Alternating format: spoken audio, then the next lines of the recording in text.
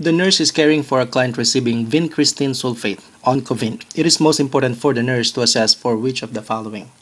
Number one, fatigue and nausea. Number two, polyphagia, uh, and polydipsia. Number three, paresthesia and difficulty with gait. Number four, hypotension and alopecia.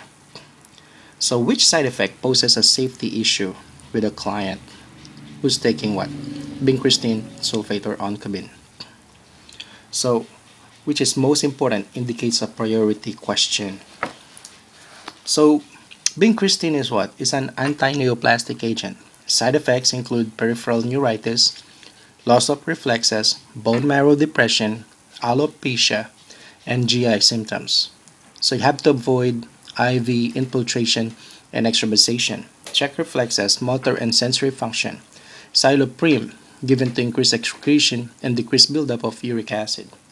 So the correct answer here is paresthesia and difficulty with gait because this one indicate a peripheral neuropathy. So uh, to ensure client safety, support client when ambulating. If you answer number one, fatigue and nausea, vincristine does cause nausea and vomiting, but this is not the priority. If you answer number two, which is polyphagia and polydipsia, this is uh, these are symptoms of diabetes.